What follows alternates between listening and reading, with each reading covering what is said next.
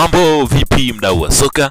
Eh bana, asante kama tayari umeshabonyeza uh, neno jekundu ambalo liko chini ya video hii iliyoandikwa neno subscribe.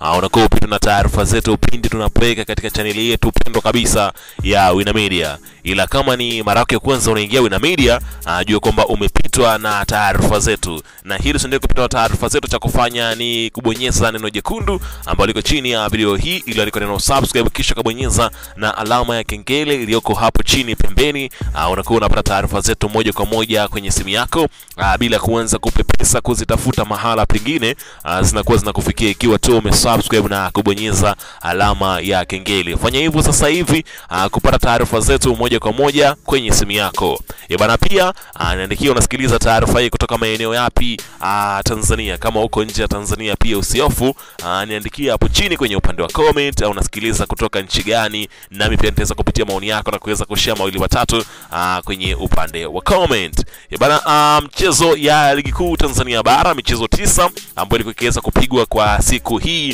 uh, ya leo umeweza kushuhudia mitanange kadhaa ikiweza kupigwa uh, huku wababe watatu hapa nazungumzia Simba, Yanga na Azam FC ambao wako juu kwenye msimamo wa ligi kuu Tanzania bara uh, kila mmoja akiweza kubaki kwenye nafasi yake ambayo anastahili. Uh, ukizungumzia uh, ubora wa wekundu wa Msimbazi wameweza kufanikisha jambo lao pale kwenye dimba la Benjamin William Mkapa ambapo walikuwa wakicheza dhidi ya nazungumzia Namungo FC uh, mchezo ambao uliweza kumalizika kwa bao nne uh, kwa sifuri huku Namungo akiweza kukalishwa kwa bao nne kwa sifuri na Simba kuweza kutangazwa uh, mabingwa mara nne wakiweza kukabidhiwa kombe lao.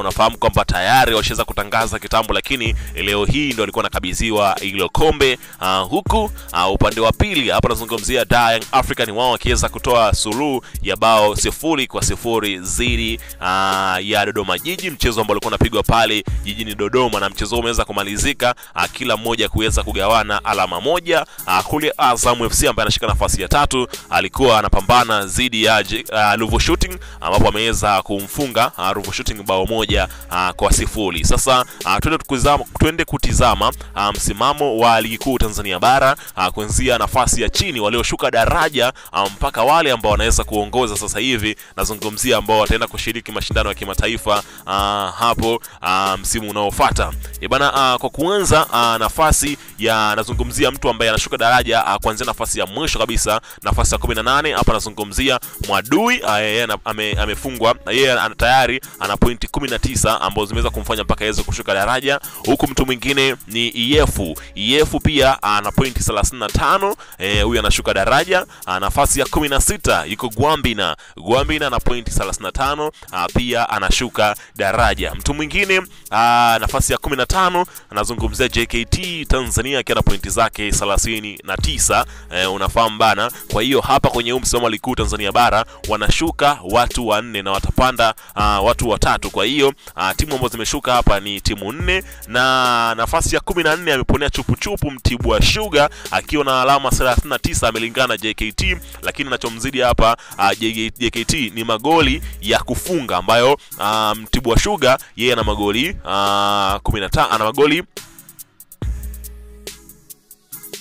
E, Mtibwa Sugar yeye ana magoli tisa aa, ya kufunga huku hapa anazungumzia JKT, JKT Tanzania na magoli aa, sita. Sasa tupande kuanzia alama ya hapa nazungumzia ya nne kwa sababu wao ndio wanaenda kushiriki mashindano ya kimataifa aa, zaidi. Hapa nazungumzia nafasi ya nne ameshika Biashara United ya Mara, yeye akiwa na pointi zake hamsini. Yeye ameweza kufanikiwa kushika nafasi ya nne, huku nafasi ya tatu inashikiliwa na Azam FC akiwa na pointi zake sitini na nane nafasi ya pili nashikwa uh, na Da Young African yeye akiwa na pointi zake sabini na nne huku wekundu wa Msimbazi ambao ndio mabingwa uh, kwenye uh, ligi kuu Tanzania bara wenyewe wakishika uh, nafasi ya kwanza wakiwa na pointi zao themanini na tatu. Kwa hiyo uh, ndio wameweza kutangazwa kama mabingwa mara nne mfululizo uh, kwenye kombe la ligi kuu Tanzania bara, huku ligi kuu Tanzania bara ikiweza kukamilika kabisa na shughuli imeweza kujifunga tayari, tutegemee msimu ujao, lakini kuna mechi uh, kule mkoani Kigoma. Hapa nazungumzia dabi ya Kariakoo uh, kombe la FA ambalo linaenda kupigwa pale tarehe 25. Weka maoni yako hapo chini kwenye